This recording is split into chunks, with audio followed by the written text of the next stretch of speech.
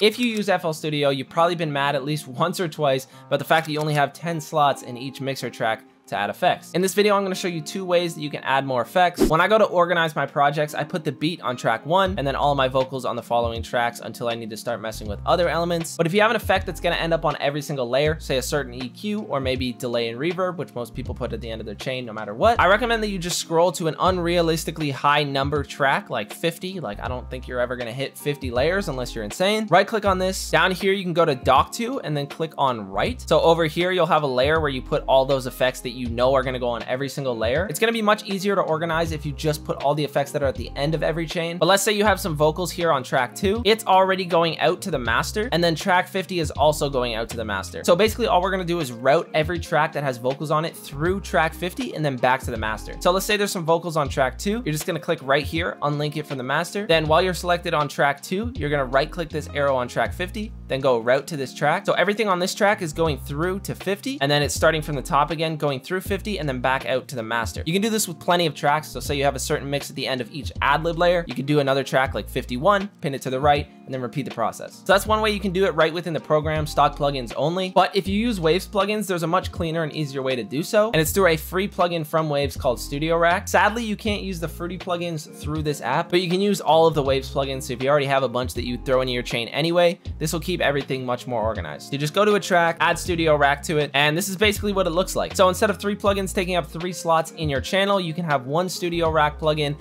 with like four or five plugins in a row. So yeah, this is super duper helpful, especially if you're doing all of your mixing in this program. But yeah, I mean, that's pretty much all I wanted to cover. I know it's a short and simple video, but I hope you did enjoy. If you did, leave a like. Anyway, get ship 27, yeah.